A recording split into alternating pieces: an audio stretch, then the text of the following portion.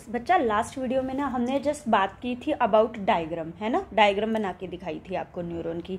अब मैं ना वन बाय वन क्या करने वाली हूँ? न्यूरॉन्स के रिलेटेड कुछ पॉइंट्स लिखने वाली हूँ जो कि आपको जब भी न्यूरॉन की डायग्राम बनानी है उसके साथ लिखने हैं। ठीक है? ताकि आपको फुल मार्क्स मिल सकें। क्लियर सो so, जैसे कि हमने डायग्राम में देखा था कि neuron has a cell body आप सेल बॉडी बोल लो सोमा बोल लो या साइटोन बोल लो। ठीक है? सो so, उस साइटोन में क्या था बच्चा? Basically that cyton has a nucleus ठीक है? Around the nucleus there are Nissl granules जो कि R E R with ribosome से बने होते थे, ठीक है? और इसके अलावा उसके अंदर क्या होता था? Cytoplasm clear okay so first point is each neuron consist cyton or you can say cell body, which contain nucleus Nissls, granules, जो कि बेसिकली क्या हैं? Fragments of R E R R E R क्या था बच्चा? Rough endoplasmic reticulum और उसके साथ क्या था वहाँ पे? राइबोसोम्स राइबोसोम्स क्या होती हैं? Protein factories clear so each neuron consist of cyton और you can say cell body which contain nucleus Nissl granules ठीक है? And cytoplasm. क्लियर है? एक चीज़ और लिख रही हूँ। Cyton has branching. ठीक है, जहाँ मैं बोलूँ, branch like structure that is called dendrites. Clear है? ठीक है? फर्दर बच्चा हम लोग बात करेंगे अबाउट एक्जोन ठीक है? एक्जोन क्या है? एक सिंगल रोड लाइक लंबी सी स्ट्रक्चर जो कि अनब्रांच्ड है। Clear so it is large single and unbranched structure ठीक है? दिस स्ट्रक्चर जब मैं बोलूँ एक्जोन ही है जो, ठीक है? Has fatty material around it clear that is known as myelin sheath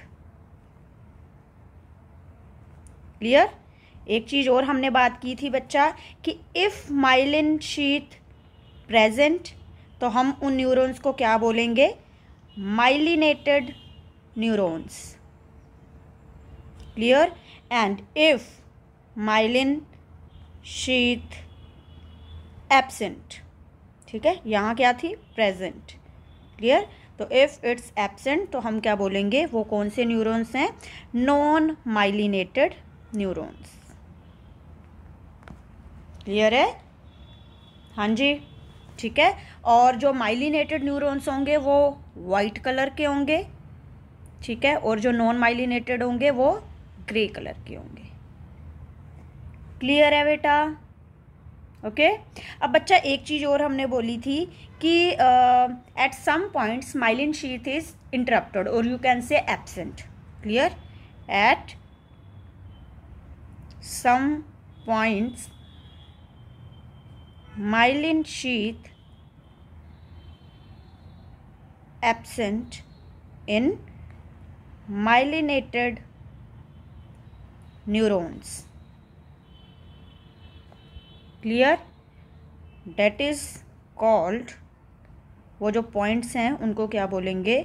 node of रेनवियर्स clear है बेटा? ओके देन आप बात कर सकते हैं कि ये जो एक्जोन है क्लियर ये जो रोड लाइक स्ट्रक्चर है, ठीक है? अनब्रांसी स्ट्रक्चर है clear this is further end with axon terminals and axon end bulbs clear है बेटा? ठीक है? फिर मैंने वहाँ एक चीज़ की और बात की थी that is synaptic cleft clear बच्चा साइनेप्टिक क्लेफ्ट क्या था? दिस इज़ आप कह सकते हो एग्जैक्ट uh, वे में this is what fine gap between the two neurons ठीक है? It is fine gap between two neurons clear है बेटा? ठीक है? इसके अलावा बच्चा, आप वहाँ पे एक वर्ड और याद रखेंगे डेट इज़ साइनेप्स क्लियर बच्चा साइनेप्स क्या होता है? दिस इज़ आप कह सकते हो जंक्शन डेट इंश्योर कि जो नर्व इम्पल्स है ना, वो एक ही डायरेक्शन में आप कह सकते हो ट्रेवल करेगी, ठीक है? This is a junction which insure the nerve impulse travel in only one direction clear है? जैसे में हमने बात भी की थी ना लास्ट वाली वीडियो में कि हमेशा जो इलेक्ट्रिकल सिग्नल्स हैं, जो इम्पल्सेस हैं, वो कैसे मूव करेंगी? डेंड्राइट्स इसको रिसीव करेगा, फिर वो साइटन पे जाएगी साइटन से वो एक्जोन से मूव करेगी और एक्जोन से वो एक्जोन एंड बल्ब तक जाएगी और फर्दर उसको नेक्स्ट न्यूरोन जो है डेंड्राइट से उसको एक्सेप्ट करेगा रिसीव करेगा, ठीक है? ये कभी उल्टा नहीं होता। वर्डिंग क्लियर है? ठीक है? तो इतना का आपको इसके बारे में याद रखना है। एक चीज़ और बच्चा, हम ना न्यूरॉन्स को आप कह सकते हो ऑन द बेसिस ऑफ़ आप कह सकते हो फ़ंक्शन भी डिवाइड करते हैं। Clear so on the basis of function एक तो हमने डिवाइड किया था on the basis of presence और absence of the myelin sheet ठीक है? तो बच्चा on the basis of function दो टाइप के न्यूरॉन होते हैं। एक होते हैं सेंसरी न्यूरॉन ठीक है? जो कि बच्चा जो इम्पल्सिस हैं, उनको किधर से ले किधर लेके जाते हैं? From a sensory organ to the C N S C N S क्या है? सेंट्रल नर्वस सिस्टम जहाँ स्पाइनल कोड और ब्रेन होता है, ठीक है? और दूसरी क्या है? मोटर न्यूरॉन्स ठीक है? बच्चा मोटर न्यूरॉन्स कौन से होते हैं? जिसमें जो इम्पल्स है, वो ट्रेवल करेगी from the C N S ठीक है? टू द पर्टिकुलर आप कह सकते हो organ clear C N S से to the particular organ